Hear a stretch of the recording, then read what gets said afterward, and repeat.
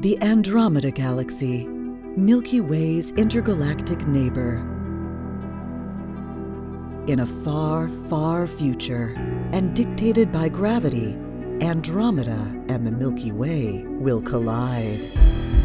In the distant past, however, the Andromeda Galaxy harbored tons of civilizations, one of which actually was humankind. Yes, contrary to common belief, Andromeda is the cradle of humanity. The eternal wars that destroyed the spiral arm caused humanity to send seed ships to the Milky Way, effectively colonizing Earth with their DNA. Yes, you, my friend, are an Andromedan. Now you can go back eons in time to the roots of humankind and redecide the outcome.